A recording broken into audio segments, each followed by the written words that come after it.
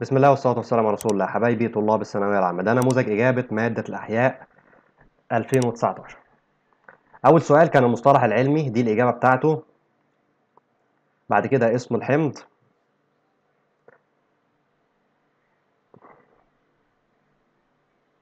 هسيب لكم في أول تعليق الإجابة بتاعة الامتحان.